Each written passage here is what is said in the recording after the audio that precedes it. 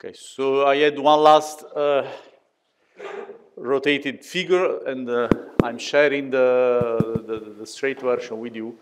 Uh, today we will discuss how we can uh, uh, claim a discovery. So this is an example which has been generated by a uh, computer. And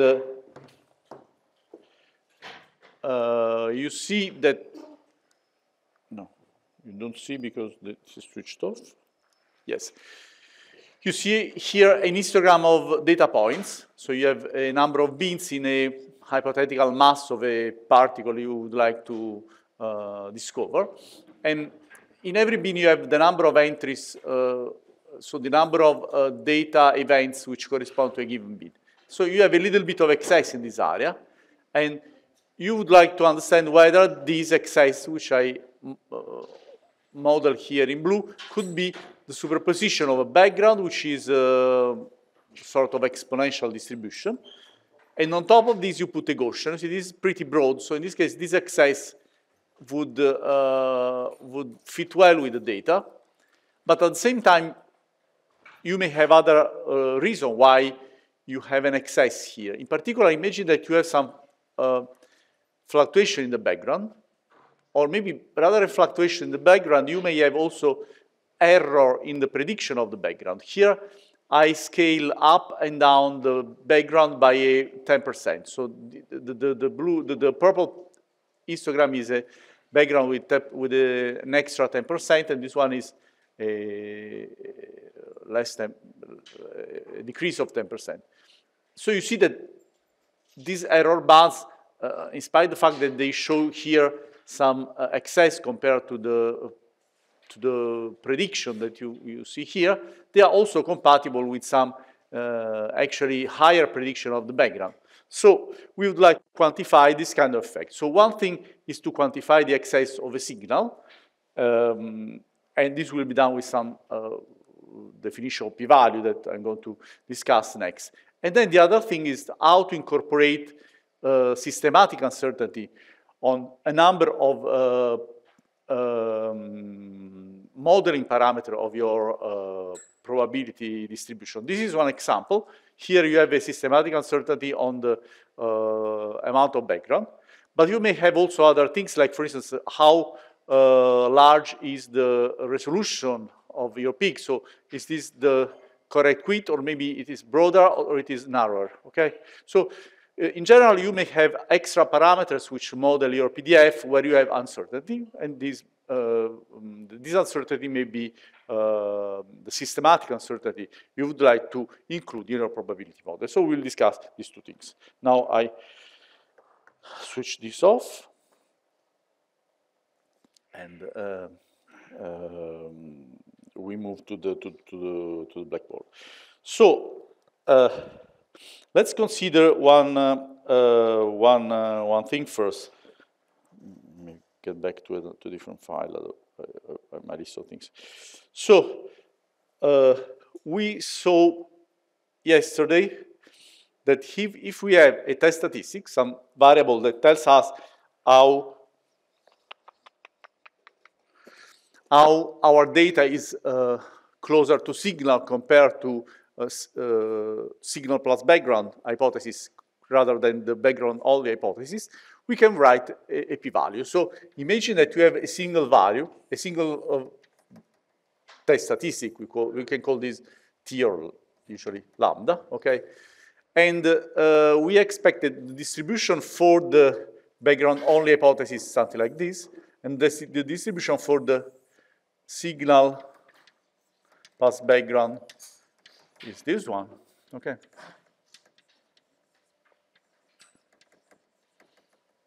Uh, we may decide that we compare the value which we have on data. So we have our, uh, our uh, data, and then um, imagine that we have a value of the test statistic that we observe in data, which is here, okay? He's, here is the value which corresponds to our data sample. Now, should we uh, are we able, for instance, to reject the null hypothesis? Okay, so what should we do? This is similar to the goodness of fit discussion that we did before. So we compute now the area of this uh, of this tail. This is very small here in this case. And we call this p-value. So this is a, this is, the p-value is equal to the probability that lambda from a different independent experiment, so if I rerun the experiment, is greater or equal to the lambda with, which I observed from data, okay? And this is exactly uh, what I did. Now, uh, the issue is that when we considered the chi-square, we knew uh, what was the chi-square distribution. In this case, uh, what is the distribution for the two hypotheses, something that may be non-trivial. So we have to find it out. But anyway, in principle, this is what we need to do. Uh, as you know, instead of quoting the, um, the p-value, very often we convert this into what is called, uh, well, now the terminology is a bit different. So uh, in statistics, they prefer to use the term p-value, and uh, what they call this score. In, uh, in physics, usually this p-value is just p-value, and here this is often called significance level.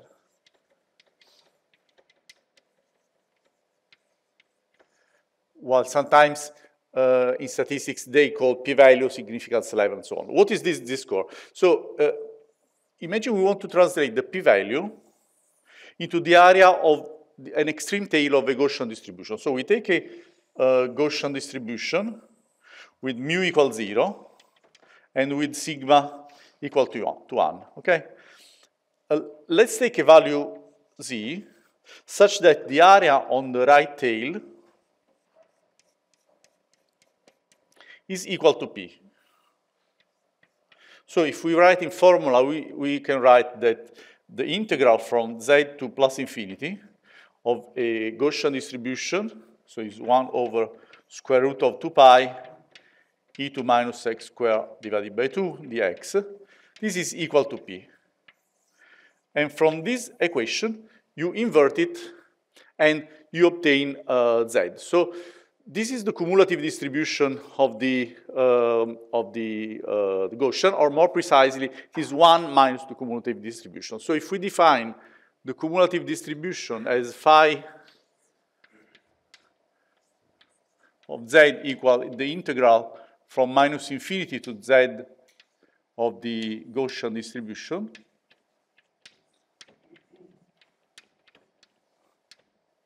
We have that this formula can also be written as 1 minus phi of z equal to p, or if you wish, z is equal to what? So we have p, uh, uh, we have 1 minus p, and then we compute the inverse of phi. So we can, uh, we can, uh, blah, blah, blah, we can write it as phi minus 1,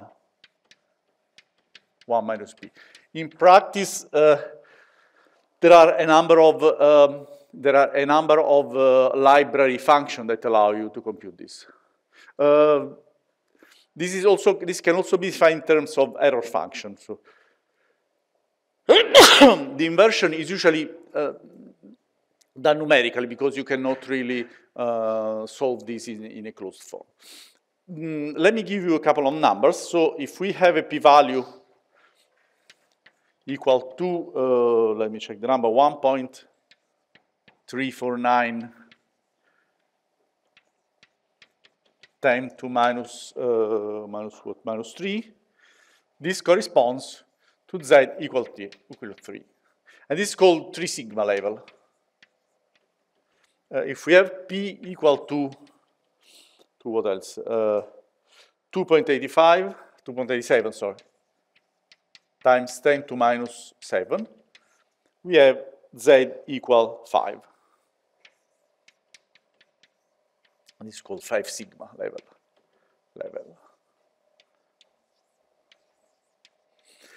These are conventional values which are very frequently used in physics. So if we uh, have a, a p-value which is uh, um, equal to this uh, uh, order of 10 to minus 3 or less, we say that we have an observation, sorry, a, an evidence. While if we have, if we reach this uh, 5 sigma level, we say we have an observation. So in, when reading the paper, evidence of something means that you, you reach the 3 sigma level. Observation means that you made a discovery, and here is the level where you, where you can claim that you are, uh, let's say, uh, the community is, is uh, sufficiently uh, convinced that this is a, a, real effect. This P is not sufficient alone to claim the discovery, actually. And the reason is that there may be a number of effects uh, that have to be taken into account.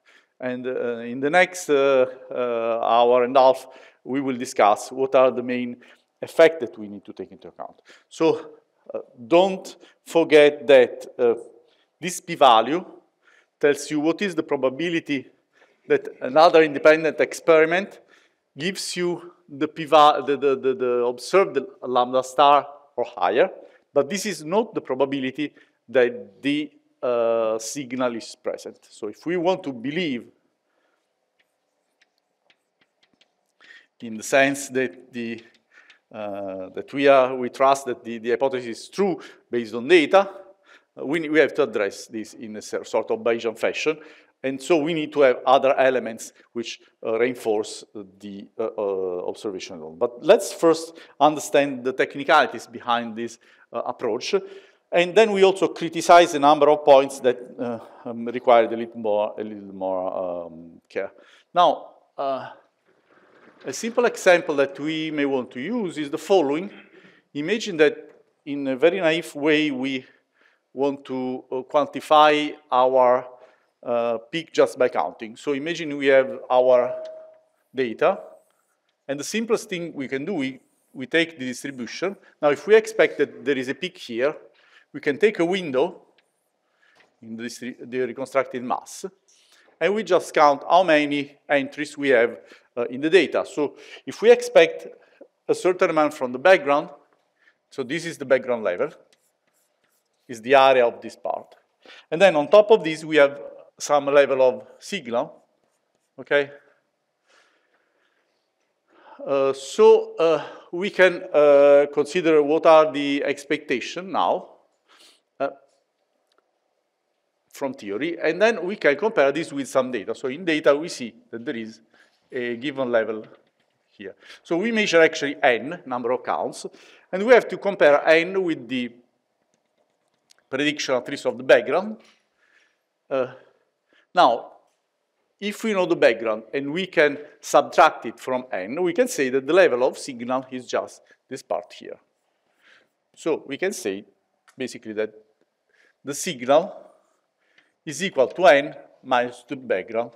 More precisely, this is an estimate of our uh, signal, signal, okay? Because we don't know exactly what the signal is, but we can estimate it, right? And uh, if we are in a regime where we have a sufficiently large amount of data, we can suppose that this n, which follows a Poisson distribution, can be approximated to the Gaussian, okay? So Poisson distribution has an expected value which is uh, nu, which is also the, uh, the, the, the, the, the, the, expected value of the Gaussian. And then you, this is the, the expectation value for n. And then you have also that the variance, or if you prefer, the, the standard deviation of n is equal to square root of uh, nu. Okay, but nu is just a signal plus background. So uh, uh, nu is equal to the true signal plus background, and the variance is the true signal plus background, but you don't know the true signal. You know just the estimate. How can you exclude the background only hypothesis? The background only hypothesis, so H0, background only, corresponds to x equals 0. Okay? And in that case, I expect nu equal b, and sigma nu is equal to square root of b. Okay? Uh, in this case, if I know okay, I can just probably cancel this.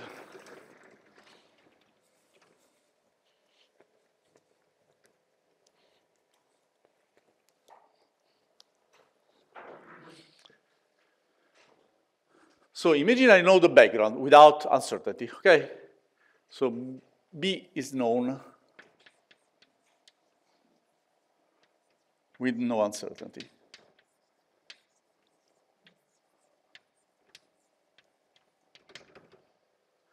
In this case, what can I say? That the, the, the, in the null hypothesis, the, uh, the, the, the, the, standard deviation of n is equal to square root of b. And uh, since I subtract a constant to n, the standard deviation of S hat is equal to the standard deviation of uh, n, because I just subtract the constant, and this is square root of uh, b. Now, if the distribution is Gaussian, how big is the area of the Gaussian? Uh, and how can I translate into a, uh, into a significance level? Basically, I can say that the significance level, z, is equal to s hat over square root of b. Okay, because if I have a Gaussian distribution, the p-value is just exactly equal to the uh, area under the rightmost tail. Okay, so the rightmost tail is basically is this. So I'm here uh, in, uh, I have S, uh, sorry, uh, if I have, uh, let's say, a background B, okay, with the sigma, which is square root of B, if I measure uh, n here, okay, I'm just saying that this is my estimate, S hat is n minus b, and uh, the p-value is just this one. Uh, so uh, we, are, we have exactly this relation. Basically, when you have, when you have a Gaussian distribution, the uh, significance level is just how far is your observation from the expected value, measured into number of standard deviation. So you just take S hat and divide by the standard deviation. Uh, in case you have some uncertainty on B, uh, the uncertainty on uh, n is equal to uh, the summing quadrature of the uh, uncertainty on B plus the error and on the square root. So this could change in this case if you have uncertainty on S hat divided by the new, uh, uh, the new standard deviation, which is the summing quadrature of B, which is square root of B squared plus sigma B squared, okay? And that's all. So uh, I can measure the significance level of the excess. If this exceeds uh, 3 sigma, you have an evidence. Otherwise, uh, uh you can hope you have more than 5 sigma to have an observation. Uh, keep in your pocket this formula, which you can also uh, find on the PDG particle data group review.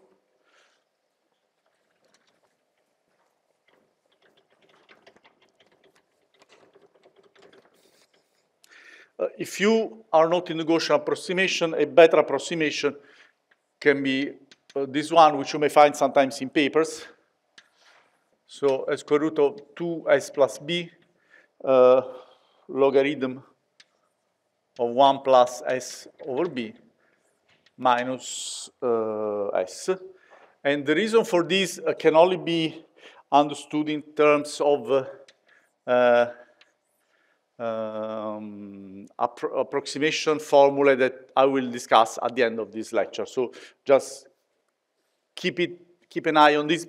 There is a better approximation than just the Gaussian one if you have low number of counts. So if you have low uh, values of S and B, and this is actually S hat to be more precise. Okay.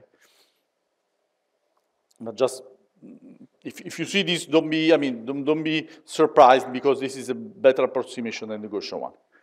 Okay, this is on one thing.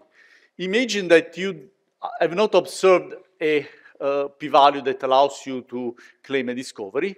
uh, maybe you want to do the other way around. So you can go back here, and you want to exclude, want to exclude that there is a signal. So what should we do? We should compute this p-value, okay?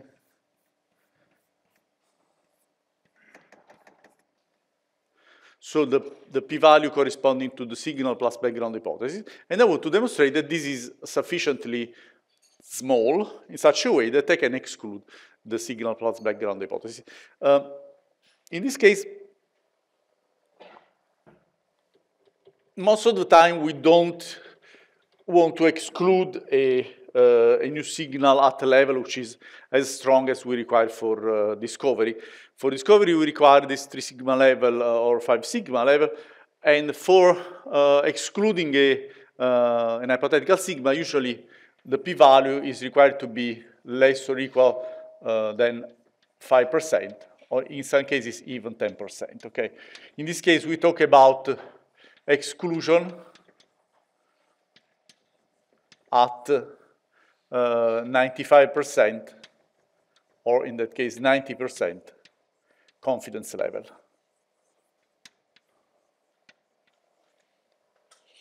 Mm, this is equivalent to uh, take, you remember the Neyman construction, you remember uh, we take some observable that in our case could be the test statistic. We take a parameter that could be, I don't know, the signal yield for the new, uh, for the, for the new uh, physics signal. And in that case, instead of building, you remember the belt where you have the central value and the two extremes, what we can do, we can just take an interval that is not a central interval, but we move to an interval which is a, an extreme interval, so we include the rightmost tail instead of taking a central interval, and basically we get an interval which is fully asymmetric, so it's something like this, in such a way that when we observe some uh, value of lambda, our interval will be full, fully asymmetric. So we go from 0 to uh, S up. In this case, we say this is the upper limit to the signal, for instance, or could be to a coupling constant. Okay. So what, what, what we quote here, we say S less than S up, or usually at 90, 95% confidence level. Okay, this is the way we quote the exclusion. Okay, say, say that, uh, uh, let's go to uh, a, another simple model.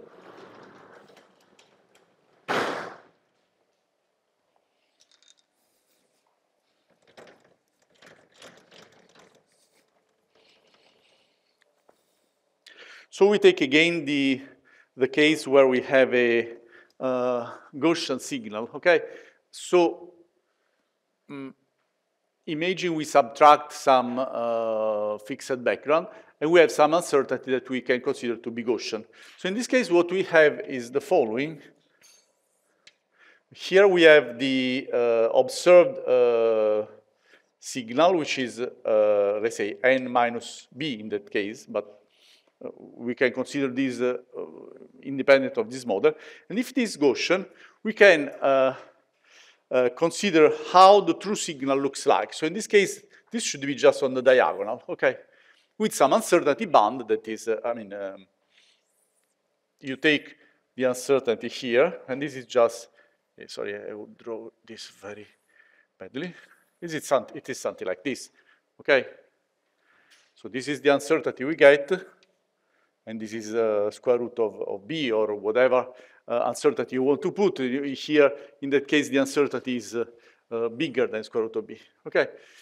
Now, what is the problem here? Is that if you have an under fluctuation of the uh, of the of the background, because this may may very easily under fluctuate, uh, your prediction could be negative. And if you are in a very extreme region, you may end up excluding negative signal region, which makes no sense. Now, there are a number of ways to fix this.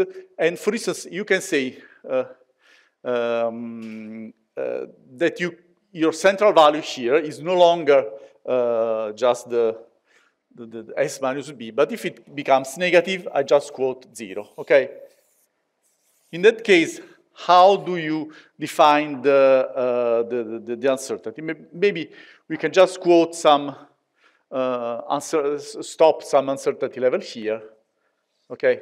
And then we quote for negative value, maybe the, the, the, the, the, the value that we found that we would have at zero, for instance. This would be a way to do this. Uh, uh, there is a, a, way to do this in a, in a, better fashion that has been proposed by uh, Feldman and Cousins. And it is rather complicated. I want to mention you quickly, but it is rather technical. And uh, this, this, had some popularity for some time now. Uh, has a little bit beca become um, um, less uh, fashionable, how to say, because of the technical aspects it has. Uh, the, idea is good, so it's nice. So uh, in general, what do we do? We, in order to construct the Neyman belt, okay, in general, you have some observation X and some theory parameter here. The way we do, so we fix theta equal to theta zero. And then we want to de define an interval and the center value for x. You remember? Now the issue is how to uh, define the central value. If, you, if we use the standard Gaussian thing, we get two negative values. Uh, the, the, the, choice that Feldman and Cousins proposed is to define the interval, which depends on theta, which is equal to the value of x, such that a likelihood ratio we call lambda, which is uh, the uh, likelihood of x given theta divided by theta 0 in this case, okay? Divided by the likelihood of x for the uh, best fit value, okay? So, uh, why is this interesting? First of all, this is inspired by the, the Neyman-Pearson uh, lemma, and this gives you the best separation between the actual value you are considering here and the best fit value. And second thing, this is an interesting feature because if you take the example here and the best fit value is, for instance, uh, imagine that it is a diagonal line and zero for the, for the cases where you have a negative signal. Um, if you take the normal, the, the standard Gaussian uh, band, you have something here which ends up in, into the negative regime. If you uh, do the computation with the Feldman-Cousins, which unfortunately, even for this very simple case, requires numerical evaluation because the formula are not simple. Uh, so uh, I could write this for you, but uh, these are just values of Gaussian PDF. So this is very simple. I, mean, I could write this, but does not tell you more information because at some point you have to invert these in order to have that the, the probability in this interval corresponds to 68% uh, or 90%. This is the, the serious issue. Uh, basically, what you have to do is the following. You have a Gaussian distribution. Then you have this likelihood ratio, which is, uh, uh so imagine that on one axis I put the, the, the probability distribution of x, given some theta. And then here I have a second axis where I put this lambda. Okay, this may be something like this. So what you need to do is the following. Take a horizontal line, cut lambda, and then measure the area under the PDF curve.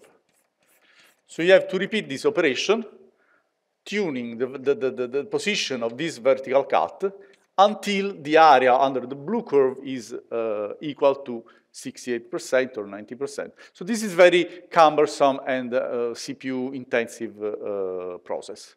And it's actually very slow to compute these intervals. But the nice thing you, you have is that here you have an interval which resembles the, the, the, the Gaussian one. Then this at some point gets slanted and with continuity becomes something like this. So you have uh, in some points, uh, uh, if, if you observe some value x, you have more or less a symmetric interval. If you move to values which are more extreme and that would run into these physical limits, automatically you move into an asymmetric error band that then with continuity becomes a fully asymmetric band that gives an upper limit. So here you have symmetric intervals, almost symmetric interval.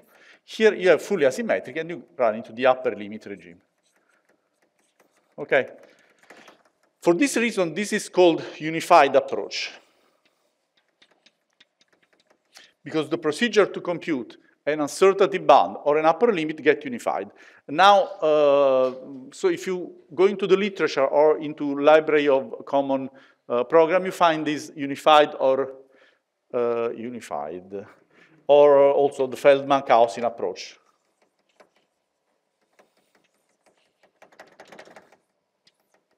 Cousins.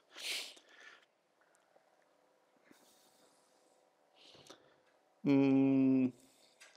And now, but this contains some aspects which are not trivial. Let me go to, let me go to the prediction of the Feldman-Cousin uh, for, uh, for instance, for Poissonian count. If you go to uh, an a real example, not the Gaussian distribution, but the case of a Poissonian counting, for instance, you have this kind of very complicated uh, ripple-like structure. You see, similar to what we encountered with the uh, and Pearson binomial interval. I'll, I do not go into the details here, and I don't ask you to uh, interpret this result because it, it is not very intuitive. Let's try to make another step and to go to the, uh, to the Bayesian approach how would we get uh, a, a, Poissonian counting with the Bayesian approach?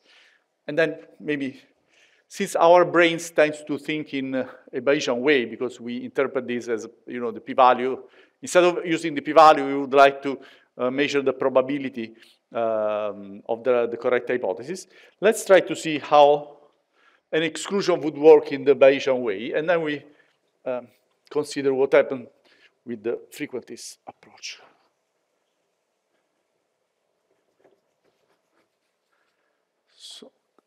Let me also delete this.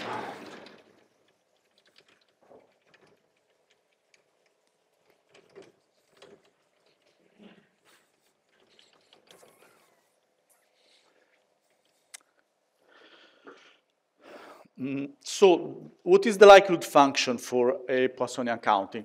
So the likelihood function depends on uh, the number of counts we have, and then depends on the signal, and the background. And the background we may consider to be fixed with no uncertainty, okay?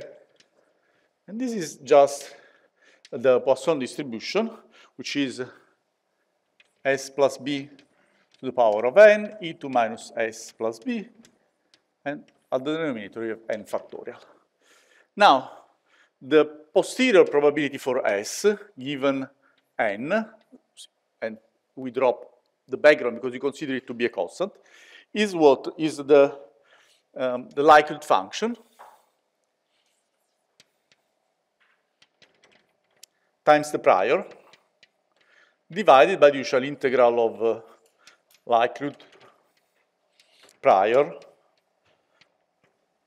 integrated over ds. Okay. What can we do to simplify this? As usual, we say the prior on the signal is constant, and this is an arbitrary choice, as I told you, but this makes computation easy. Uh, so uh, what is the p-value? The p-value uh, is equal to,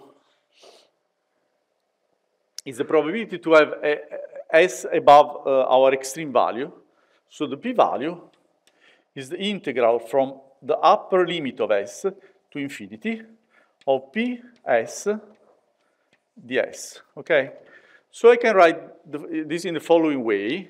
Maybe I write this in a new blackboard so you can read it better. So the p-value is the following. At the denominator, we have a constant. So I have integral from 0 to plus infinity of the likelihood. And at the numerator, we can also put s here because p-value no longer depends on s, okay? And here we have an integral from the upper limit to infinity of L ds, okay? So in the ratio uh, n factorial simplifies, uh, you have to compute this ugly interval, but something nice uh, shows up because what you see here is that the p-value can be written as a, in the following form. This has been published in 1983 by, this, in, by Helene in this paper, and it is uh, E2 minus the upper value. And then there is uh, just an expression. right for you, but it's not important. Infinity or, uh, yeah, no, n, sorry, not infinity. And you have uh, s up plus b to the power of m, right? Divided by m factorial. And on the denominator, I have the same thing with s up uh, equal to 0. So sum from m equals 0 to n, b to the power of m divided by m factorial. So whatever it is, you can plot it. And uh, something interesting is that for b equals 0, sorry, for, for n equals 0, which is a nice thing, this is a very easy expression because you get p-value equal to e 2 minus the upper limit. And what you want, your actual upper limit is when the p-value is equal to alpha, okay? So I get the, um, the, the, the, the, upper limit I want, which is basically reversing this thing, so I can write uh, S up equal minus logarithm of alpha, okay? And alpha uh, could be 5% uh, or 10%, and you get 2.303 uh, for uh, alpha equal 5%, which means 95% confidence level. And you get 3 point something, 3 point, no, 2.96, sorry, is 3 basically. If alpha, I was wrong, sorry, this is 10%, and this is 90%, and this is alpha equal 5%.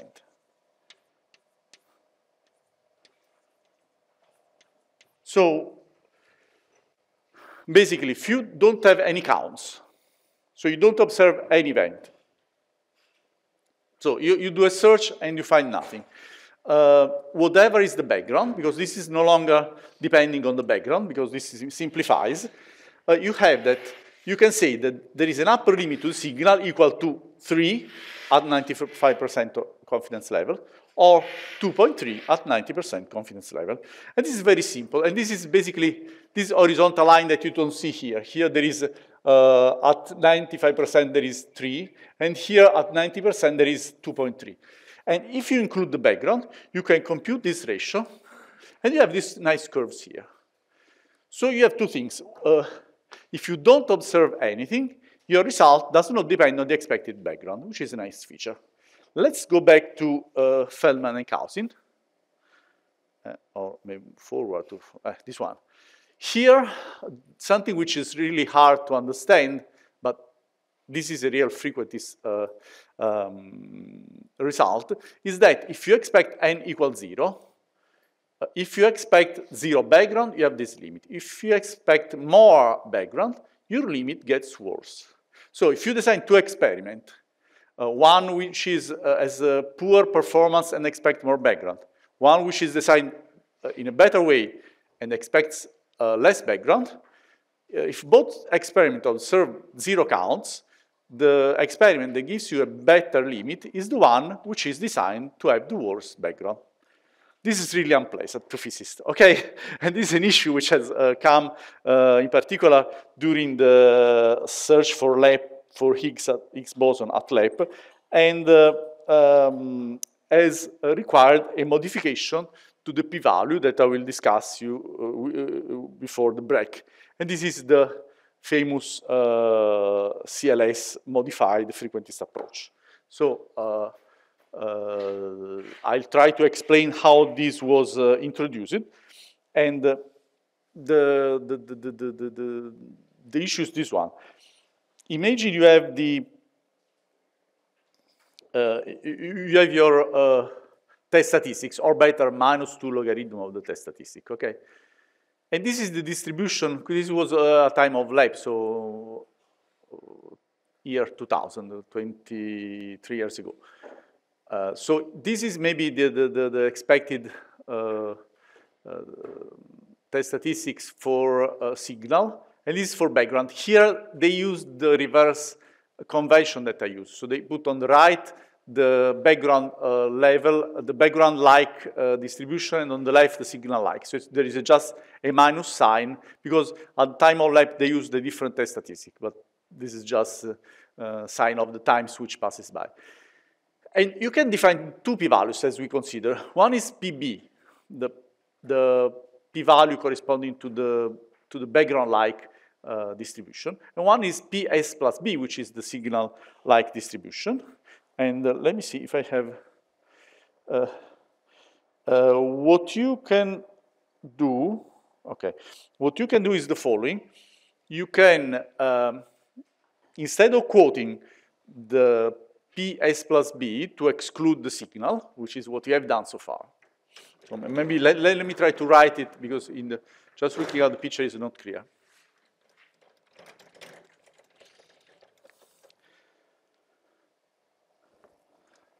So you, you define a, a p-value for the uh, S plus B hypothesis, and you would like the p-value to be uh, before, to be less or equal than a given confidence level, which is, uh, sorry, 1 minus the confidence level, which could be 5% or 10% or whatever.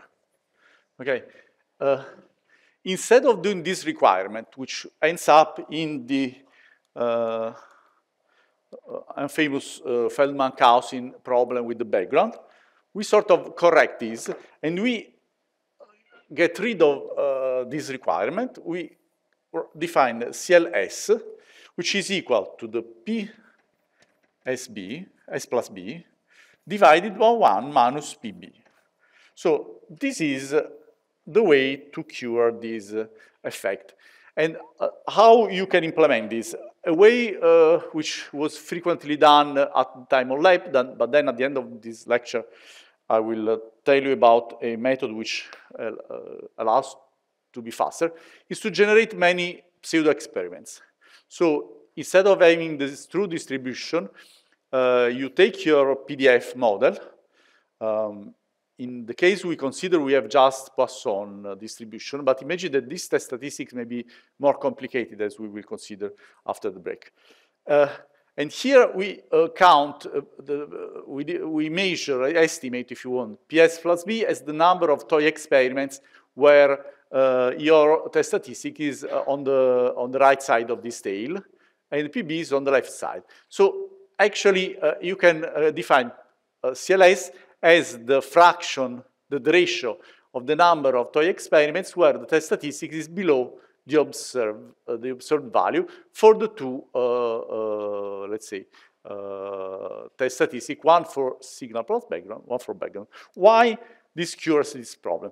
Uh, if you have uh, very well separated distributions, you have basically that, assuming that we, ha we have our test statistics in the bulk of the region where you expect this to be uh, in the signal plus background hypothesis, if they are very well separated and uh, what you observe is close to S plus B, you have that PB is basically zero.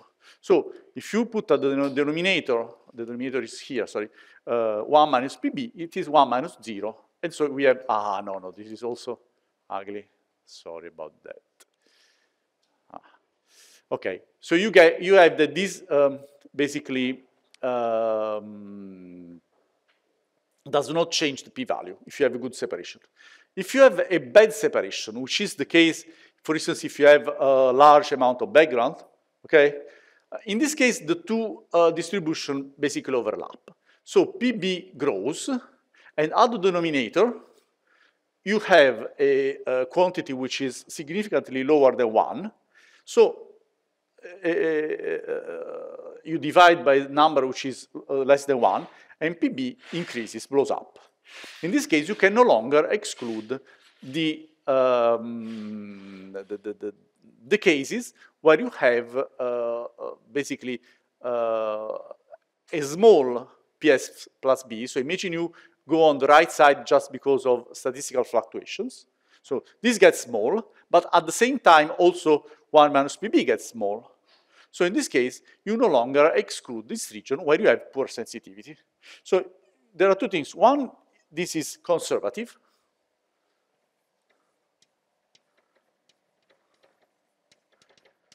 Conservative because CLS is less or equal PS plus B. So your limit is less stringent in this way and uh, prevents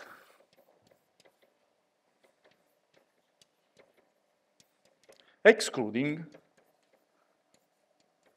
cases with poor sensitivity.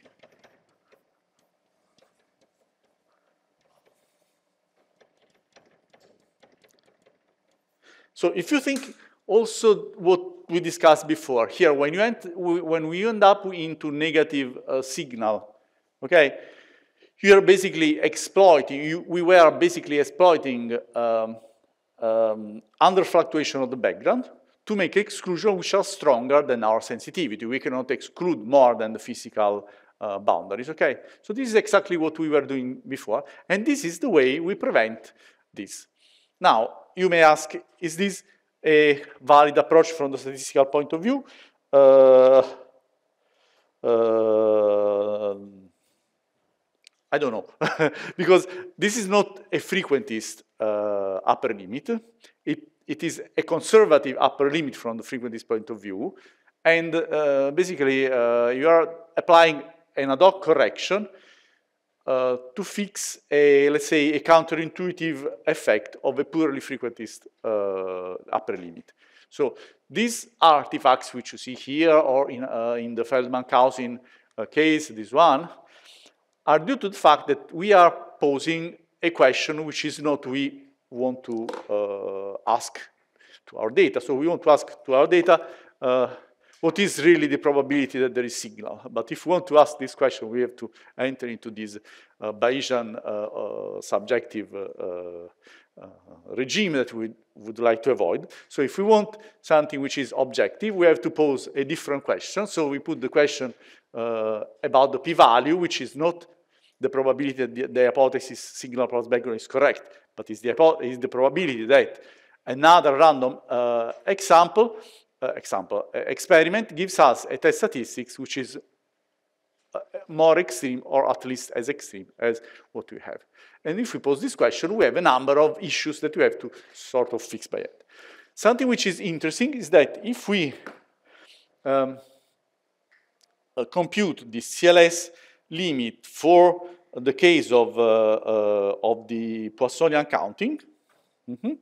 The computation has been done. I will not do this for you, but you get exactly what Helene got for this, uh, for this uh, uh, binomial case. So the upper limit given with CLS uh, for this case are identical to the Bayesian one. Um, someone started to uh, claim, uh, okay, maybe this is an indication that we can find some unification between Bayesian and frequency upper limit. This is not the case. So what we end up is, uh, with is that uh, in the regime where we have a large number of entries, uh, so we uh, can, let's say, go to the um, I mean, we, we don't enter very small uh, fluctuation. In many cases, uh, the CLS limits are very similar numerically to the Bayesian limits. And in this very simple case, uh, they are really identical even for small counts. But if you start to introduce other things like, uh, I don't know, systematic uncertainty and things like this, uh, you, you, are not guaranteed at all that CLS limits uh, are identical to the Bayesian one. So uh, frequentists, even if they are correct in CL CLS, um, are limits that address a specific question, Bayesian address a different question. So there is no uh, reason why we should be able to find a um, unified version of the two. Okay, maybe we can stop here and uh, uh, we uh, continue after five minutes break with next topic. Okay. Can you hear me now? Okay. Is it okay? Okay. So uh, yesterday we saw that on top of the of some background, you, you, we can put some peak, and we can model this with uh, some parameters. In yesterday we saw that we can fit the signal, the background, but also these parameters that describe the, uh, the background PDF. Lambda is the exponent of the, the, the, the slope of the, uh, the, the, the background term. And here we have the Gaussian, so we have a PDF proportional to e to minus x minus mu squared divided by 2 sigma squared.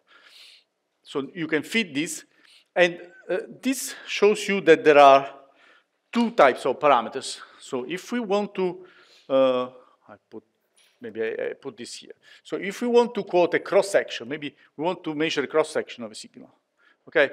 We are interested in this parameter, and we call actually this parameter of interest. Sometimes you, you read POI, okay?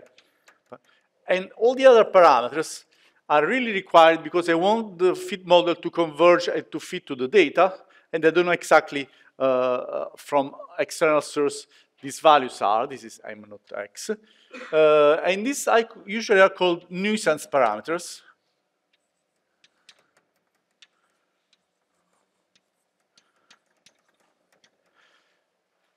And are, let's say, auxiliary parameters that I will not usually quote in the paper. Maybe if I'm interested in the reporting the measured uh, resolution, maybe I will report sigma, but this is not the main, the main uh, result of my paper.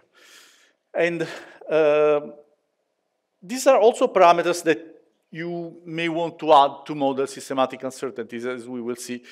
Um, because maybe uh, how do you uh, introduce a constraint on external parameters which uh, reflects your uh, systematic uncertainty? Maybe you remember at the beginning of the lecture we saw these uh, plots, and now we can see it because figures are straight this time. Ah. You see here you have this background where you have an uncertainty of plus or minus 10%. So you can have a parameter that models the uncertainties, maybe you say that background B is equal to an estimate of B plus or minus some sigma, okay? And this is basically a constraint, and this is the true parameter, which you don't know. Mm. So, so in general, we end up having uh, two sets of parameters, and we may uh, have different set of data to constrain these parameters. So imagine we have a likelihood uh, written in this form. So we have L of two samples, X and Y, and we have two sets of parameters, mu and theta. And imagine that these two uh, sets are independent. So we have likelihood of X, and X may depend on mu and theta. So the parameter of interest and nuisance parameter, and the other set just depends on the nuisance parameter. So this may be helpful to constrain the value of theta that otherwise I would not know. Uh, one example of this is what is in uh, this slide, and is an interesting technique that is uh, frequently used. This is, for instance, a measure, measurement of single top cross-section. Uh, so how do you uh, uh, identify a signal which contains a single top production. So you count the number of jets in the event. Uh, so the single top is accompanied by a jet which is not, uh, well, maybe I should, should write a little bit of uh, physics here. So I have a top quark. The top quark decays into a B, and maybe you have a W, and imagine that the W decays into a, I don't know, muon plus neutrino, okay? So we end up you have a big quark, which produces a jet, a jet of uh, hadronic particles, and maybe this single top is produced together with another jet, which uh, is uh, uh, as a B jet. You may have a fair amount of uh, single top, which is the red uh, amount of data. And here this is a variable, is how forward is this jet, which is also an indicator that is uh, Uh, the top is produced in, mainly in the forward direction. You see, in the forward direction, when eta is large, you have more single top than other backgrounds. But the other, the level of the other background is very high, so this is TT bar. how can you constrain the amount of TT bar? Either you trust the theory prediction, which has some uncertainties, and so your result is affected by this uncertainty, or you find a sample which is very similar to your one, but this is enriched in TT bar. So in, in this case, this sample uh, uh, is selected requiring uh, one extra uh, B-jet, and uh, here there are two tags, so you, uh, you require one extra B-jet. And in this case, you have much less amount of single top, which remains, but you have a huge amount of, of TT bar. And if you fit together the two, you actually are able to constrain the, the, the, the, amount of single top. If you add a third category where you ask for uh, to jet, but none of, of them have the B tag, so this came come mainly from uh, W plus jets or other processes. And if you put the three together, you have the product of three likelihood functions. And the three likelihood functions, all fitted simultaneously, allow you to measure the cross-section of the T single top process plus the yield of uh, TT bar plus the yield of W. Do you care of these yields? Not too much, because they are not sufficiently accurate to measure the TT bar cross-section. This is just the amount of TT bar in that specific phase space which is close to the single top one you're interested. So these are nuisance parameters which you fix from external constraints. So you have some theory prediction, but you also have external data that you plug in here. Actually, this is a bit more complicated because in the second sample, you also depend slightly on mu. Mu is the, the, the cross-section for, uh, for a single top. So uh, in the ideal case, the external uh, sample only uh, helps you um, constrain the, the, the, nuisance parameter. But in this realistic case, there is a little bit of sensitivity also signal, so it's a bit more complicated. Um, if you have instead just an external measurement, for instance, I have the background like this, what can you say? Well, I can say the following. Uh, maybe I have a likelihood function, which depends on uh, uh the, the, number of uh, events I count, or maybe the number of entries in each bin, N1 and B, okay? I may have a complicated data sample. Um, I may depend on the signal yield I want to measure, a number of parameters. um, uh, B I fit also from the data, but maybe I have a better constraint from external source, lambda, mu, and sigma. And what can I uh, write here? Here I multiply by Gaussian PDF, which has what? Uh, as B hat, the estimate as my uh, data sample, and depends on B and sigma B, okay? So this is fixed. This is my estimate of uncertainty. B is unknown, so I don't know what it is, but this is a common parameter which shows up here and here. I can do a fit simultaneously um, to the histograms and take into account that I can measure the background from the external source. Okay, this is another way to do this. And you can imagine to have a number of different uh, um, PDF that model, I don't know, jet energy scale, uh, the, I don't know, the theory uncertainties and so on. And this could be a model, for instance, a Gaussian.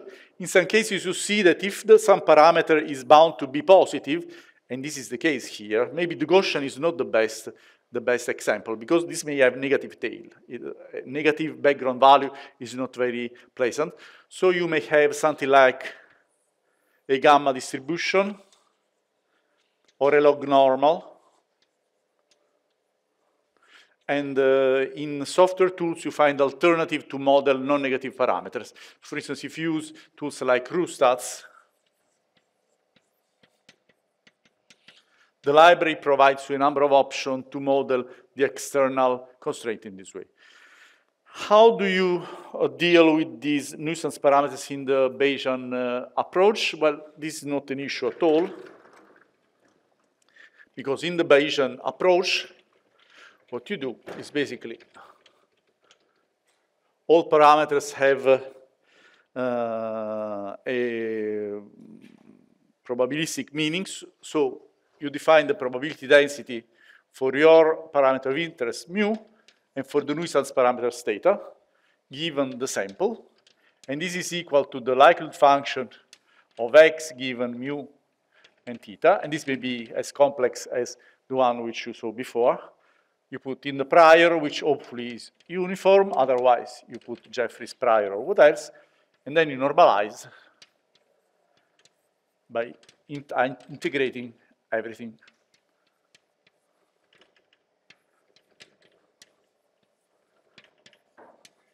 So, how do you uh, take away the nuisance parameters? You just do the integration. So P mu is the marginal probability distribution. And it's just the integral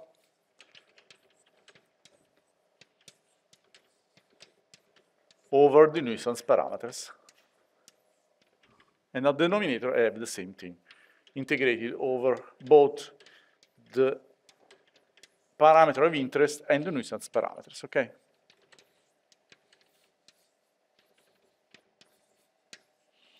You see, this may be complicated, and usually it is done with the integration. And a technique which is frequently used is the Markov chain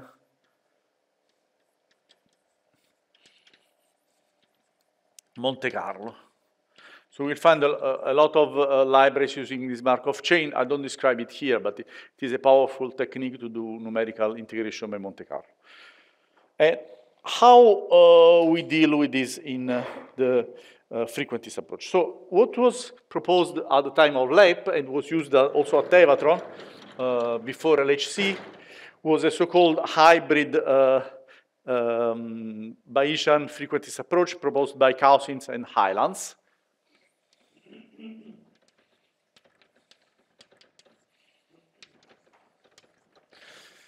Uh, the approach consisted in uh, having a likelihood hybrid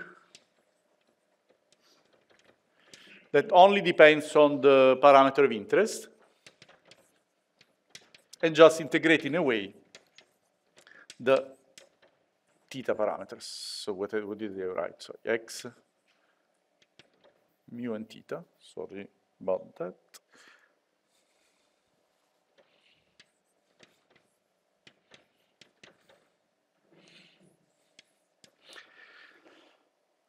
Uh, does it work? Or maybe uh, uh, here you can also adapt the extra parameters here if you have this uh, extra term. So the, this likelihood function is the total likelihood, which depends on the on the nuisance parameter. Does it work? No. Uh, so uh, there is no guarantee to have a correct coverage, and um,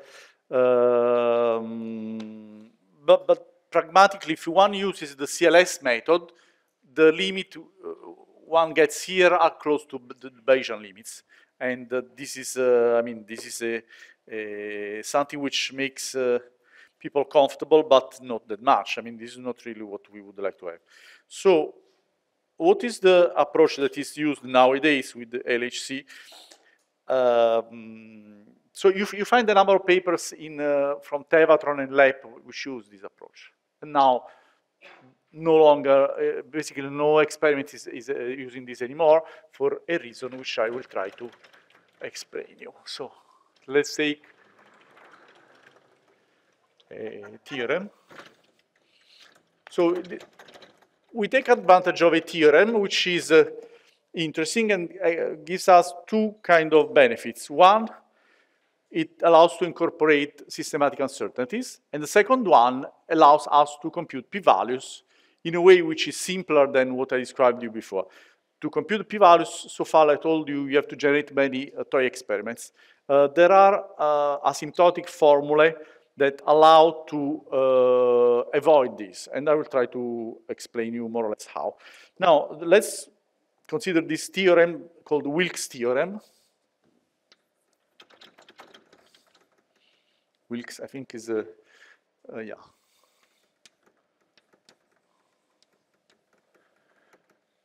And Wilks' theorem dates back uh, the late 1930s, so it's an old theorem that got, I mean, physicists got familiar with this uh, only recently.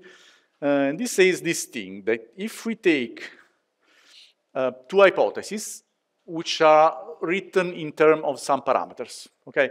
uh, how can we write hypotheses in terms of parameters? So this is done uh, in this way. So let's, let's open a little bit of digression. Maybe what is the uh, hypothesis that I only have background versus signal plus background? So background only, signal plus background means I expect a number of entries equal s plus b. This means the same, but with s equals 0. So I can see that the hypothesis H0 is a special case of H1 with a constraint with one of the parameters. Uh, nowadays, rather than writing this way, uh, at the LHC, there is something interesting. Uh, there's a new extra parameter which has been introduced, and we write n equal mu s plus b, where this time s is not the signal we want, but is the theory prediction.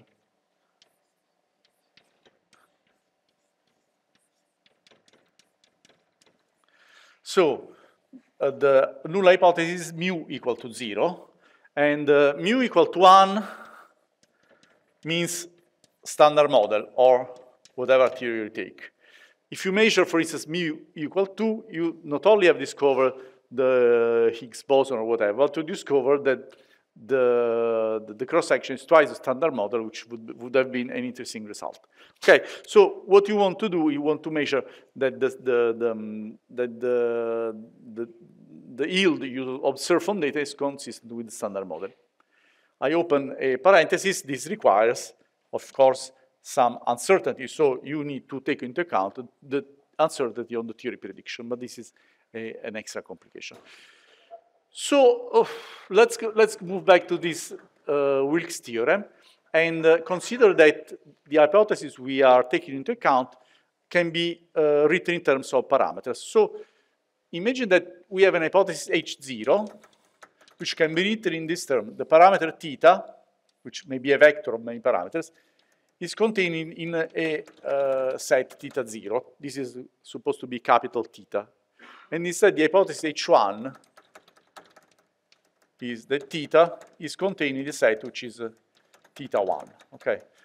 Uh, if the two hypotheses are nested, so if theta 0, the set is contained into the set theta 1, we say the, the hypotheses are nested.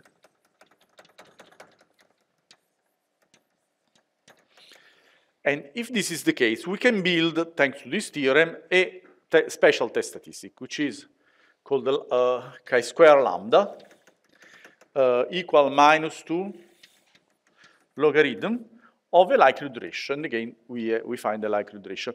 The likelihood ratio is uh, the, the uh, maximum over all parameter theta contained into the set theta 0 at the numerator. No, now, it's important that we have the right uh, convention here, otherwise we have an opposite sign here, of the product, or, well, maybe you can just put the likelihood. It is the product if they are independent, likelihood of the data sample given the parameter theta. Okay, so the data sample can also be a vector. And at the denominator we put the, uh, the, the, the, the maximum of the same quantity on the set theta 1.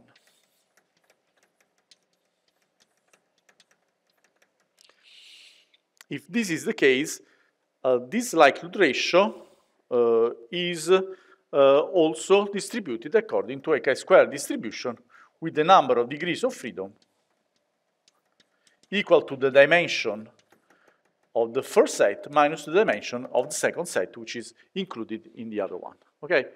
So imagine that you have theta 1 of dimension 1 and theta 0 of dimension 0, like this is the case. So I have just one variable here and a fixed point up there. In this case, this would be one degree of freedom. So I just have a chi-square.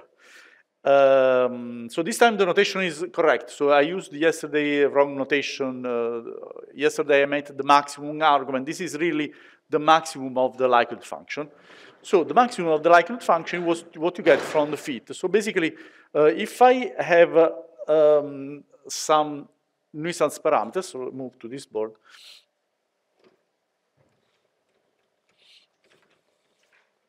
how can I build a test statistic where I can apply Wilks theorem? What I can write is the following. I take as lambda,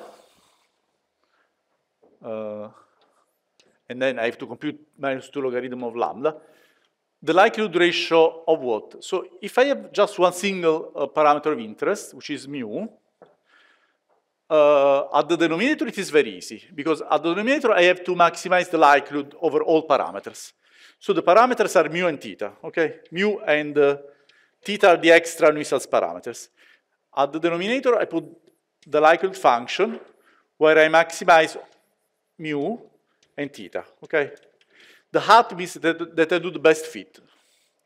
At the numerator, I fix mu to a given value, so this is lambda which depends on mu, and then I fit theta, so I put a double hat, in such a way that this, for a fixed value, is the set of nuisance parameters that maximize the likelihood. If this is the case, this is distributed as a chi-square with one degree of freedom. Uh, so if the distribution of this test statistic is, uh, so not this one, but uh, minus, two minus 2 logarithm of lambda is distributed as a chi-square. So if this is the case, I can do a fit here. I can scan the, the, the, the plot and obtain the, the, the, the, same basically figure which I use in general for a uh, fit. And I obtain at the same time the estimate of the parameter and the, uh, um, the, uh, the, the, statistic I would like to consider. Uh, sorry, uh, it is the it, is distributed uh, according to a chi-square if the hypothesis um, the hypothesis theta zero is true. Okay, if so we need to make the hypothesis that theta zero is true. Clearly, we have to take one hypothesis, otherwise this does not make much sense. And how can we uh, proceed, basically? So we have minus 2 logarithm of lambda, and I'm sorry here, this is a plot taken from a tool called RooStat. Uh, it's a piece of the root libraries. And by default, they plot minus logarithm. So there is a factor of two here that we have to take into account, but it's just a convention. So if I put the, if I scan this uh, guy, what I obtain is that at the minimum, uh, so when I have mu equal mu hat, so if this is mu, this is the fit value, uh, numerator and denominator cancel. So basically this is, uh, at the top I have just the scan of the usual uh, likelihood, but I divide by the, um, the, the, the, maximum of the likelihood. So in this case, you know, remember the chi-square had a sort of distribution like this, where I have the minimum chi-square. Here, my minimum is zero. And there are two effects. If you take uh, fixed values of the nuisance parameters, so you assume that there is no uncertainty, you get this curve. If you have, uh, if you add the uncertainty to the parameters, so if you place here a sigma, which is, uh, I mean, is 30%, uh, like in my case, you have two effects. One, the, uh, the, the, the curve gets broader. So a broader curve compared to a narrower curve means that we have larger uncertainty. So if we want to measure uh, mu, a, a, certain uncertainty, we have just to put a, um, an horizontal line at, instead of 0, plus 1, okay, and possibly plus 4 if you want to sigma and so on. And then we measure the error. And then the error gets bigger. So you have immediately the, uh, the effect of how the systematic uncertainty uh, increases the uncertainty on your measurement. And at the same time, for the hypothesis mu equals zero, here I have number of signal events in the old-fashioned, uh, I have, I used this S instead of the more modern mu. I have that here, this is a value which I can uh, treat as a chi-square. So in this very specific case, let me see if I, I got, got, the values. Yeah, in this specific case, this is, uh, uh, if you take this chi-square, okay, and you compute the, the p-value from the chi-square probability, this corresponds, for instance, to 3.6. So let's, let's take exactly the value. So I divide this by 2, So this means z equal to uh, 3.6, okay, 3.66. And uh, here I divide this by 2 and I got 2 point, uh, uh 2 point what? No, no, sorry, sorry, sorry. Uh, yeah, this is, sorry, I, I should consider the, the chi-square probability, okay? So in the Gaussian approximation, the, um, the, the, the, the chi-square is roughly uh, z squared, okay? So what you need to do is basically you take z approximately equal to square root of the chi-square. This is a bit rough, but is uh, correct if, uh, if the p-value is not too small. So if you do this kind of trick, you can just take this and do the square root of this, this, this guy. So you here you end up with the um, uh, with the significance value which is below 3, and here you have uh, above 3. So basically, if your significance is larger than 3 sigma, uh, if you don't take the uncertainty, adding the uncertainty brings your significance below 3 sigma, and you can no longer write in your paper that we have a uh, a, an evidence for new signal. Okay, so basically when you compute the significance value, you have to be a little bit careful and put uh, plug in all the, the, correct systematic uncertainty. So this also tells you why uh, in uh, uh, physics we are not usually uh, very happy to quote low significance values there may be cases where we underestimate the systematic uncertainty. So if we claim a very high significance, this may also mean that we uh, have not evaluated correctly systematic uncertainty.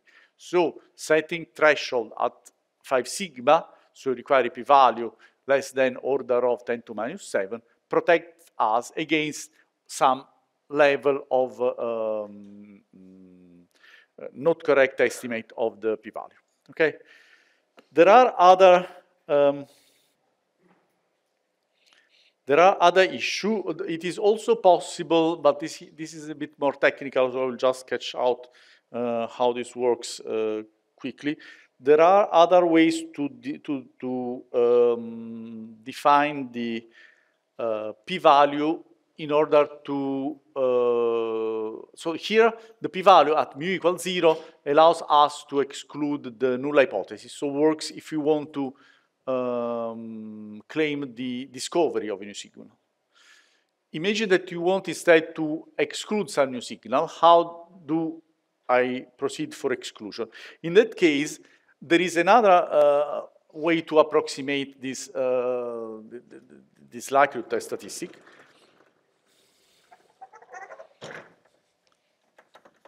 And there is another theorem due to another guy called Wald,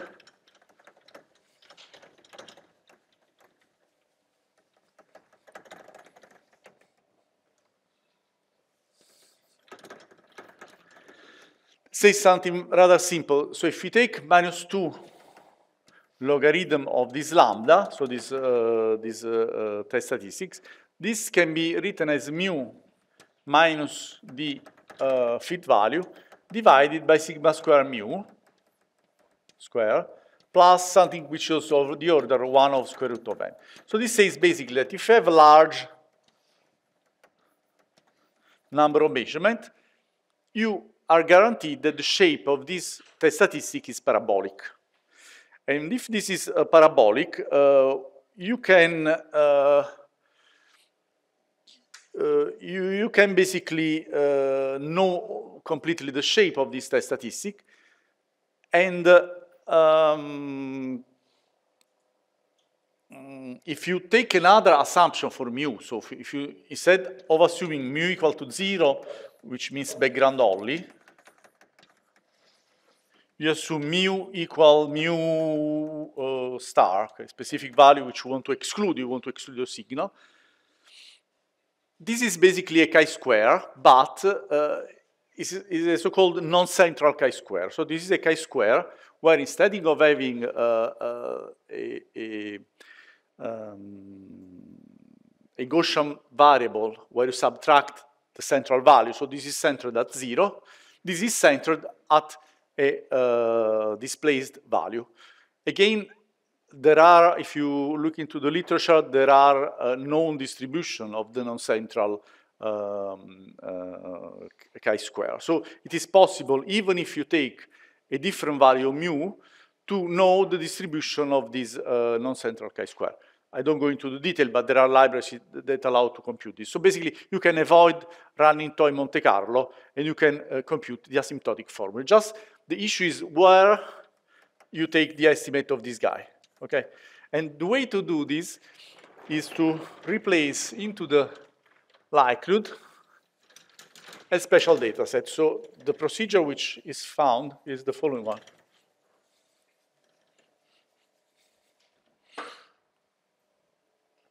So uh, the lambda depends on the data set. So you have two logarithm of uh, lambda, which depend on your data set and on, your parameters and so on, okay?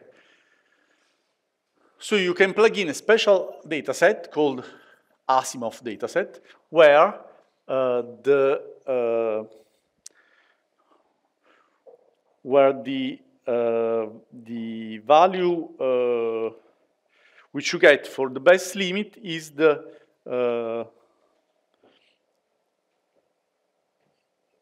is the true value basically.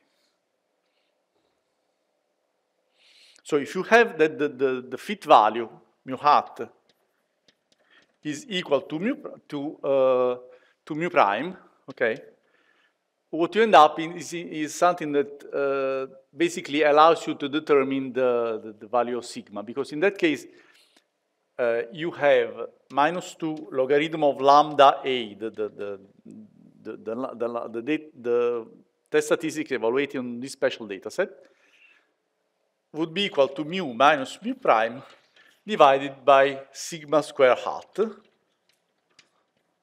And then you can determine sigma square hat equal to mu minus mu prime divided by minus 2 logarithm lambda, lambda a. So how do you get a sample where you determine the, uh, you have the true value? Well, if you just have a Poissonian counting, for instance, you have this e to minus s plus b, uh, s plus b to the power of n, and blah, blah, you obtain the true value uh, if you just plug in the, uh, instead of, of having n, which is what you observed, you can plug in n equal s prime. In that, in that case, even if it is not an integer, okay, it's not, not necessarily an integer. In that case, the estimate s hat turns out exactly equal to S prime. So usually what you do is the following. Imagine you have a fit of a number of histograms.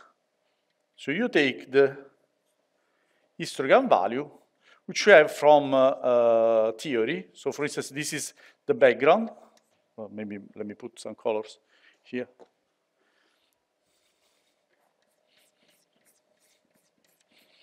Here you have the signal. And what you do, instead of putting the number of counts you have from experiment, you put the theory prediction for each bin. Okay? Theory prediction given by signal plus background. Uh, I don't go into the details, but basically when you hear about Asimov dataset,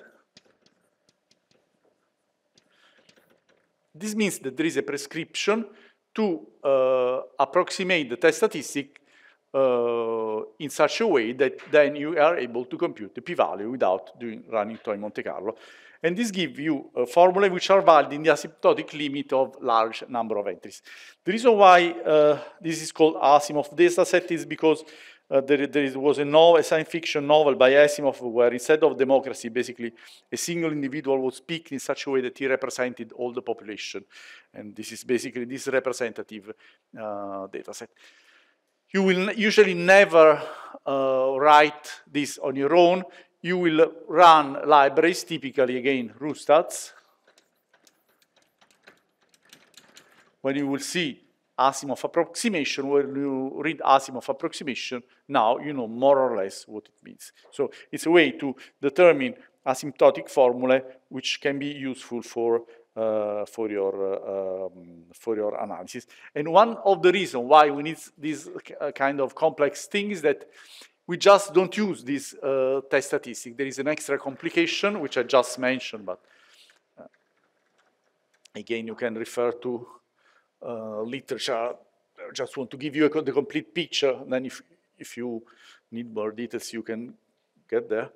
Imagine you want to put, uh, to set an upper limit, okay? Uh, then uh, you measure your signal, mu, okay? and you have an estimate mu hat, you, you can have two cases. One is mu hat is greater or equal than zero, and in some cases you may have under fluctuation and you have negative uh, mu. In this case, do you want to use negative mu to set an upper limit? Possibly not. And there are uh, a number of papers where instead of using uh, uh lambda evaluated at mu equals zero to set the upper limit and to define the, uh, the, the p-value. more often, uh, there is, you find this definition, you find minus 2 logarithm of lambda set for mu equals 0 uh, if we have positive uh, mu hat. Otherwise, you set the, the, the estimator at 0. In this way, you don't spoil your upper limit in case you get negative p-value. Now, do you remember the first lecture when I gave you a PDF and I say uh, uh, if x is smaller than 0.5, I, I, you remember we, have, we had this pathological PDF where we had this uh, spike at zero. I, I said if I have a uniform distribution from zero to one, you remember? And then I have, uh, instead of x, I can have the distribution of uh, max 0.5 x, you remember? Here, we never have less than 0.5. So this is an area of 50% probability. And we have, with 50% probability, a single value, which is 0.5. You remember there was this delta Dirac at the beginning. You, I showed this just because in this case you have exactly this. There is a fraction of cases where you have this Q0 equal to zero, and another fraction of cases where you have this guy. And again, with this asymptote dataset, you are able to, um, to uh, uh, predict the distribution which has a delta Dirac component. So there are a number of technicalities which is very complex, but basically now you have more or less all the ingredients to master that. And there is an even more complicated test statistics used for the Higgs boson that protects you both in this case and in the, in the case also in, in which you have a mu hat greater than the hypothesis you want to test. But I don't uh, enter into this discussion because it is quite complicated and more advanced that I would like to show you. So how do you uh, end up at the end of the, of the game? You end up with something like this. This is a more or less realistic uh, uh, Higgs boson uh, plot, which I taken from CMS. So you take a distribution for uh, the background. Here, the, the, the blue and the green are two components for the background. Here you, you have a distribution for the signal. And then you fit a probability model which contains the background with some uncertainties, so some systematic uncertainties, the signal with some uh, theory prediction and some systematic uncertainties related to the, the width and so on. And then what you can do, you can scan the, um, the, the, the, the p-value obtained by fixing the Higgs boson at a certain mass. And what you have, you have this local p-value, which at some point gets very low. So in this case, if you assume an Higgs boson mass which is close to this peak, the uh, null hypothesis that there is no signal becomes uh, very inconsistent with the of the presence of this XX, which you can quantify. And since, since this gets down to uh, uh, a level which is of the order of 10 to minus 7 or less, then this gives you, allows you, allows you to claim a 5 sigma discovery. On the other hand, you can try to set a, an upper limit exclusion on mu, which is a sigma divided by the standard model cross-section, and you see that assuming a different value, the Higgs boson mass, you end up excluding a value of the, uh, the, the, the, the, the, signal strength, so the, the cross-section you measure divided by the, the standard model, which is below the line one, so you basically below one means you significantly exclude the standard model. Uh, up to a certain mass, so for a very high mass, the experiment is no longer sensitive. And for, in particular, a mass range which is close to the peak, you end up, you are no longer able to exclude. So you are not able to exclude, and you are able to claim the observation. Um, you may want to compare this to the prediction in case of simulation where you expect the standard, uh, where you don't, don't put in the simulation the standard model Higgs boson, you put just background, and you see that you expect this uh, blue curve, but you may have fluctuations. So you can plug in the one into sigma uh, fluctuation band, which by the way can be also computed with this asymptotic formula here with the Asimov data set. So you don't need to uh, generate for each point uh, thousands of toy Monte Carlo in order to make this distribution. And you can compare the limit you get to the expectation. So you see that the limit is uh, definitely worse here because there is an excess that you cannot, does not allow in data to exclude the exposure. Now, the last thing which I would like to discuss in, the, in this final part of the, of the lecture is uh, this issue here. Uh, so, uh, this is not the end of, of the story, because what you are claiming here with this kind of plot, for instance, this is Atlas instead of CMS, but it's a different paper, but it's exactly the same story. Here, notice that uh, we write here a local p value. So, uh, what is the, um, the difference between claiming that for this particular Higgs boson mass, I can claim discovery, and the uh, claim that I want to make in general, I discover a Higgs boson in this range, okay? Now, uh, you may have fluctuation in different uh, regions of the, of, the, of the mass spectrum. So here is a, where is it? Here is the plot by CMS. So maybe uh, also this could have been a Higgs boson, okay? And uh, this may be due to some fluctuation in this area. So what you measure here is the probability to have a fluctuation in the uh, region where you are sensitive to. But you have a fluctuation in another area, you may also claim the presence of Higgs boson in another area.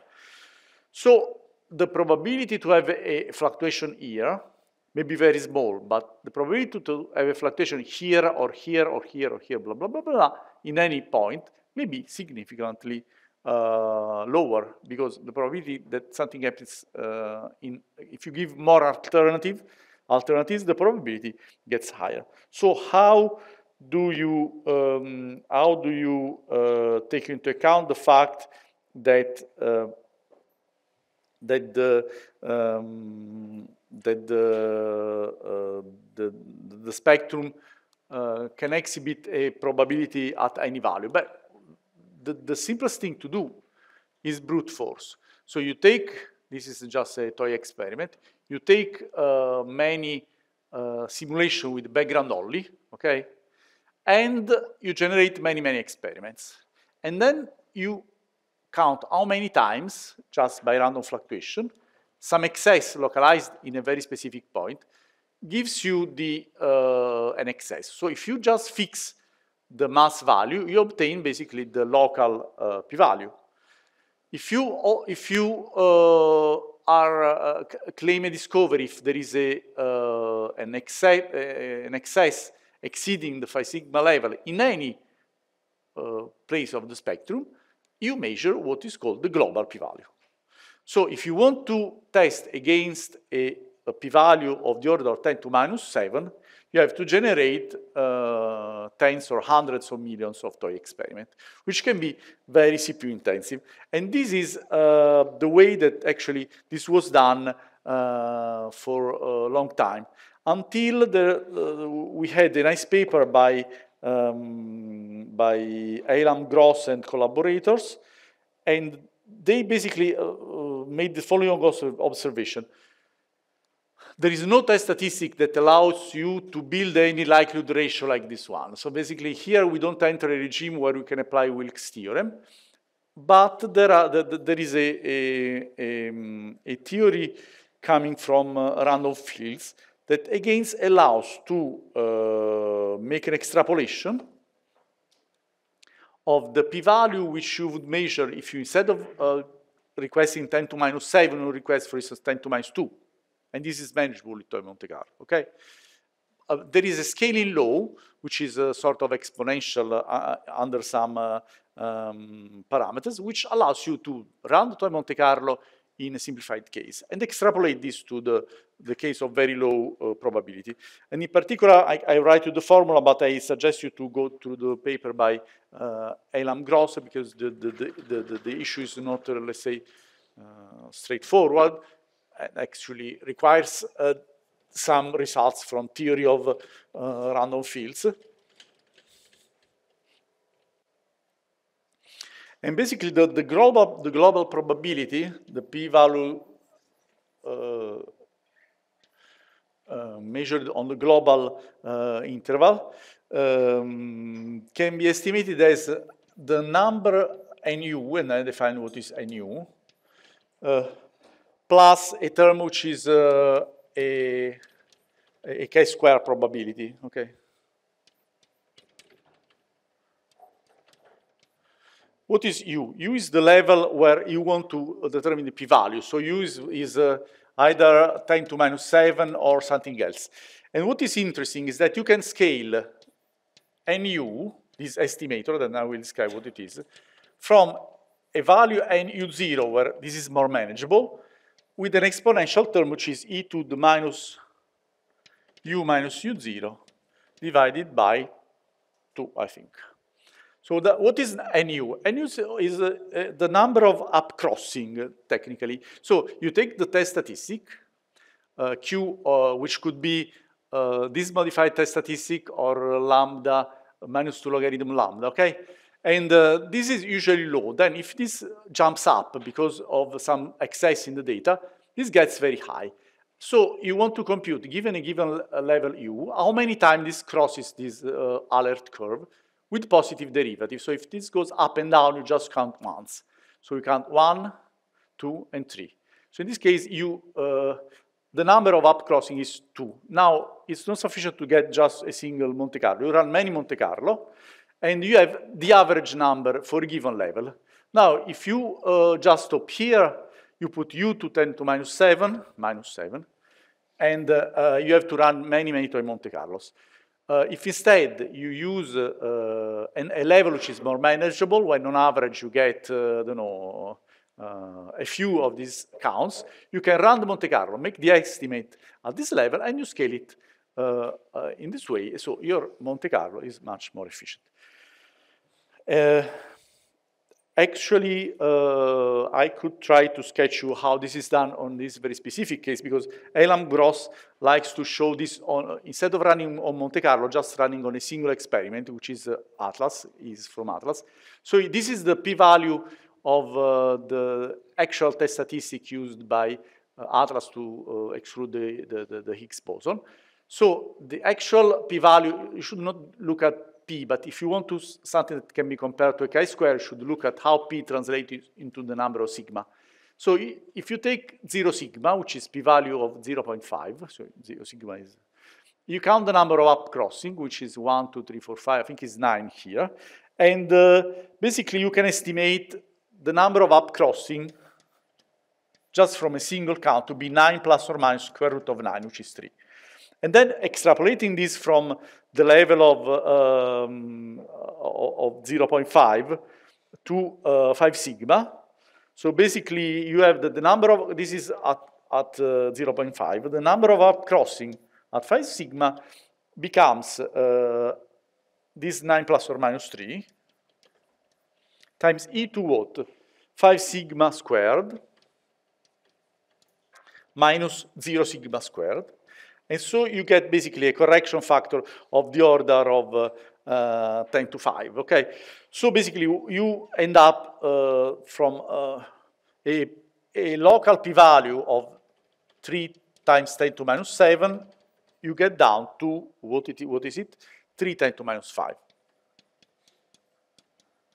And so instead of uh, having uh, four, 5 sigma, you have a global p-value which is 4 sigma. So instead of 5 sigma, you have 4 sigma, okay? So now, uh, what is the exact threshold that we should ask for? Should we ask for a local 5 sigma threshold, a global 5 sigma threshold? This is a matter of convention. So usually paper are, uh, quote, uh, reasonable result when the local sigma is pretty high. But beware that in multiple dimensions, uh, this um, look elsewhere effect may even be more uh, pronounced. So if you measure at the same time the mass and width of a resonance, the uh, look elsewhere effect. This is called look elsewhere effect, I forgot to mention. Look elsewhere effect.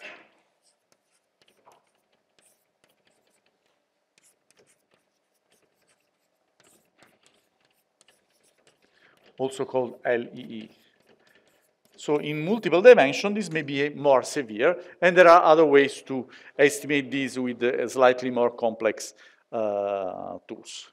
Okay, I think I gave you an overview of the main tools which are useful in uh, high energy physics and particle physics in general.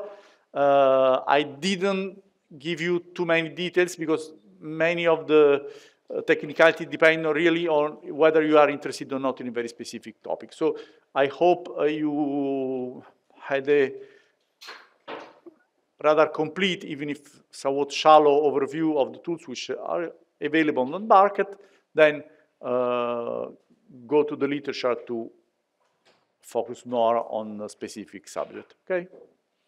So I'll possibly, I leave the last five minutes for questions if you have.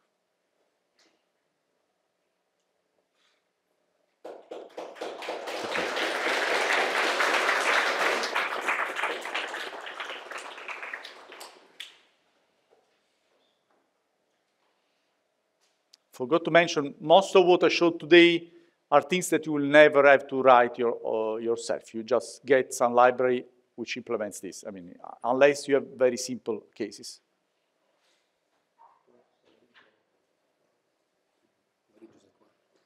No, but me vado... Devo partire. Yeah, because I have to leave uh, this uh, uh right after lunch.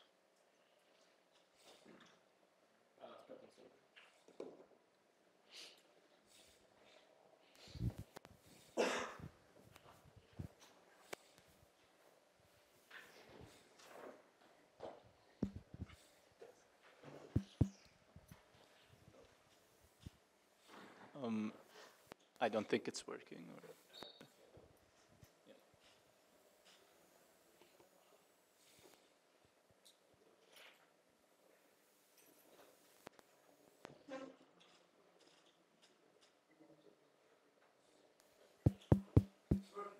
yeah. okay, perfect. Um, so with the Feldman-Cousins uh, method, after we've calculated the ratio between maximizing the likelihood function for a given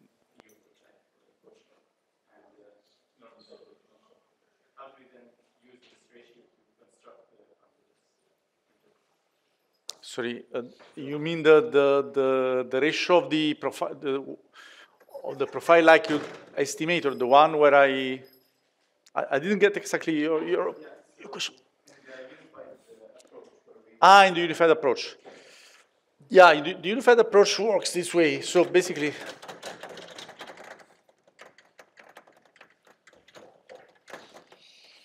so you want to construct a Neyman belt. So what we have to do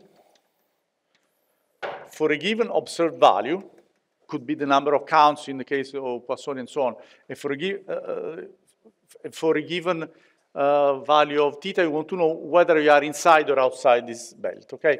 And this is done by fixing a value theta zero and computing this interval here.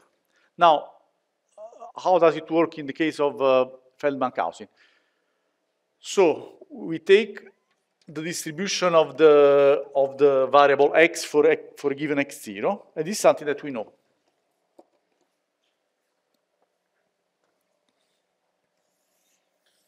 Hmm? So we have uh, the probability distribution of x given x0, given theta 0, theta equal to theta 0. Then we have to decide which is the interval. So we could take at 68% this interval or another interval and so on. So the criterion we uh, choose to define this interval is to construct, maybe I put, put a different plot, the likelihood ratio of the um, uh, hypothesis uh, which I'm considering, theta 0, divided by the hypothesis theta hat, which is the one of the best fit. So I have a different curve here. So this likelihood ratio may be something like this, okay? And I want to put a cut so, so that this lambda must be greater or equal to some uh, uh, threshold value. Now, if I set the threshold value here, okay, I have this interval, which I can project above. And this turns, turns out to correspond to this interval here. So I measure probability, how much is this? Bo 80%. So I don't like this 80%, so I move this a little bit down. Okay. Oh, sorry, I move this a little bit up. So now I have this interval. Okay. How much is this? Maybe this is 60%. Uh, so needs, in order to have uh, 68, I need something intermediate. So imagine I proceed dichotomically, and maybe if I have this value here, I get an interval which is finally 68%. So when I'm done with this uh, numerical procedure, I'm happy and I freeze this histogram, this interval. So this interval here is what I report here, okay? And I do this many times. So you, you understand this is a very slow procedure. So for every, every theta, I have to define this interval together with the best fit value, which is at the center, okay? And eventually I will get the uh, curve which I told you before, then for, uh, for unphysical value does not go to negative values. So even for the Gaussian case, I can write the likelihood ratio because it can be written in terms of exponential, but then uh, inverting this equation is not, is not straightforward.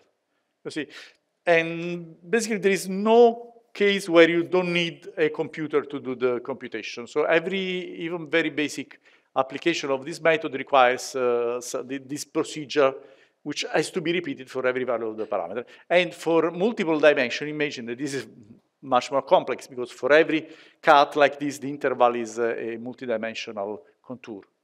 So this is not practical for modern one dimension and is implemented in a number of cases, but is nowadays no longer very much used. I mean, unless there are very specific reasons uh, in some neutrino experiment, I think this uh, has been used uh, with, I mean, pretty heavily, but it's not really a widely used method. But this solves some of these technical aspects related to unphysical values, which are prevented in this way.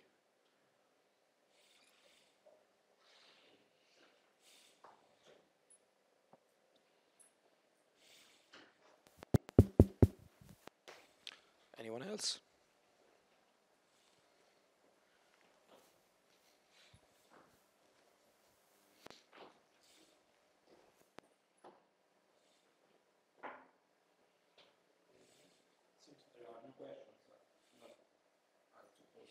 But I mean, yeah, you, you can uh, send me emails offline. I can send you references if you are interested in uh, having a deeper uh, insight about topics which I cover.